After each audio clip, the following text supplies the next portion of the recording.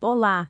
Primeiramente, seja bem-vindo ao canal. Lembre-se de deixar seu like e se inscrever clicando no botão inscrever-se e depois no sininho. Obrigada!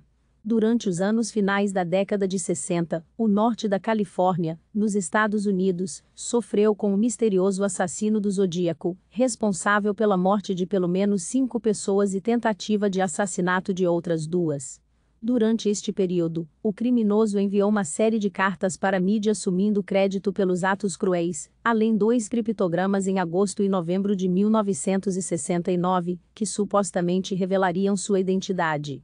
Além disso, ele exigiu que os documentos fossem publicados integralmente, ameaçando matar mais pessoas caso o comando fosse ignorado. Suposto retrato falado do assassino do Zodíaco. Fonte: GT Imagens barra reprodução, uma semana após a primeira mensagem codificada ser enviada, um casal conseguiu decifrá-la, e o texto revelava que o malfeitor acreditava estar coletando escravos para sua vida após a morte, e que não revelaria mais seu nome, porque isso atrapalharia seus planos. Porém, o segundo texto, recebido pelo T. San Francisco Chronicle provou-se mais complexo, ficando conhecido como cifra 340, por sua quantidade de caracteres, e só foi desvendado semana passada, 51 anos depois, por uma equipe internacional de criptógrafos amadores. A cifra permaneceu não resolvida por tanto tempo, e eu senti que era um desafio que tinha uma chance de ser resolvido. Foi um projeto empolgante de se trabalhar, e estava nas listas das principais cifras não resolvidas de todos os tempos de muitas pessoas, explicou David Oranchak, um dos três homens que decifraram o enigma, através de um e-mail. Fonte. GT Imagens barra reprodução, a tradução do criptograma descodificado dizia o seguinte. Espero que vocês estejam se divertindo muito tentando me pegar. Não era eu no programa de TV, o que levanta um ponto sobre mim. Eu não tenho medo da câmara de gás. Ela me mandará para o paraíso mais rápido, e eu já tenho escravos, o suficiente para trabalhar por mim, enquanto as outras pessoas não terão nada chegando ao paraíso, por isso elas temem a morte.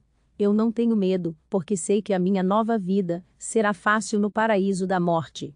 Aparentemente, a menção ao Soul se refere a uma ligação que havia sido feita a um programa de entrevistas na KGO-TV em outubro de 69, quando um indivíduo afirmando ser o assassino em série, disse precisar de ajuda por estar doente e, que não queria ir para a câmara de gás.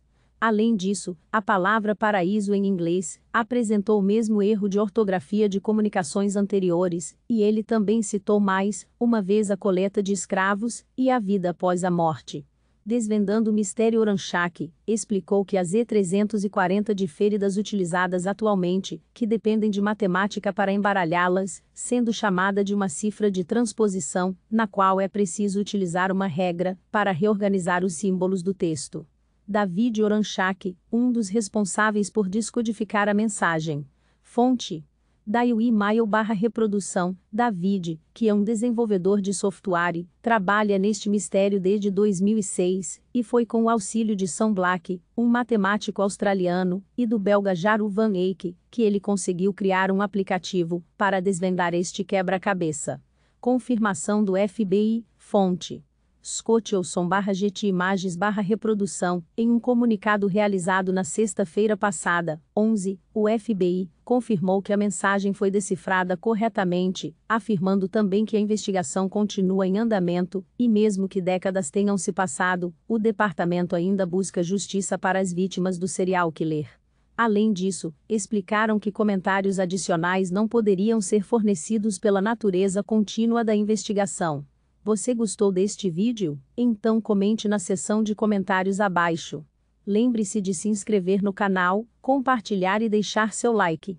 Muito obrigada. Até logo!